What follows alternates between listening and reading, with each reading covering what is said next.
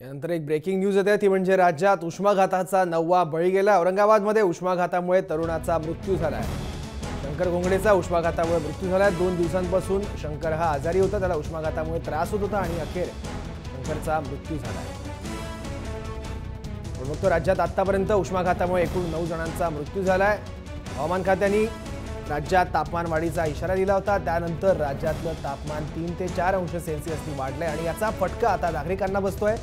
उष्माघाताचा नववा बळी आता राज्यात गेला. औरंगाबादमध्ये हा मृत्यू झाला आहे दोन दिवसांपासून शंकर नावाचा तरुण जो उष्माघातामुळे आजारी होता आणि त्याचा आज मृत्यू झाला आहे. औरंगाबाद असेल बीड असेल लातूर असेल या ठिकाणी सुद्धा उष्माघातामुळे लोकांचे मृत्यू झाले होते.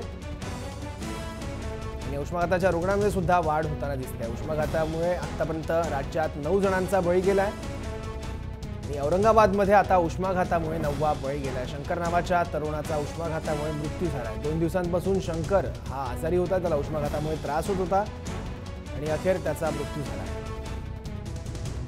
याबद्दल आणखी माहिती घेण्यासाठी आपले रिपोर्टर माधव सावरगावे आता आपल्यासोबत आहे. माधव याबद्दल आणखी काय माहिती मिळते?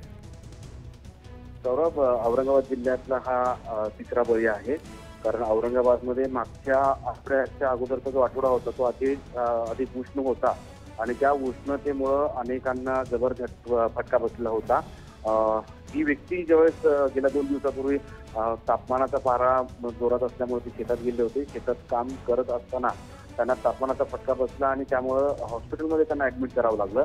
पण अखेर आज तिसऱ्या दिवशी त्यांचे प्राण गमावलेले आहे.